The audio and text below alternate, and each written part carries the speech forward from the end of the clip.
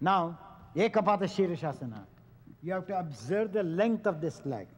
You have to observe the length of the inner leg to the ankle. So when you take the right leg down, you should not oscillate the left leg.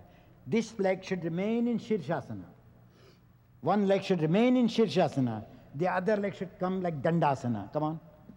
Now see, she's losing already attention. She's strong here, intelligence sunk here. So charge the intelligence here also, as you charge here. Can you see?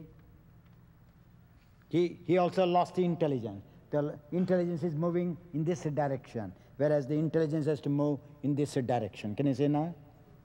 Connect the intelligence to the mount of the toe, big toe, both. Ah, can you see the differences? Patricia, she is intelligent here, but unintelligent here. Now what I say, these are the hinges.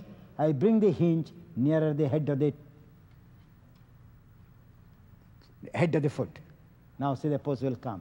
So she can suck the skin down, move the bone up. Then the connection comes.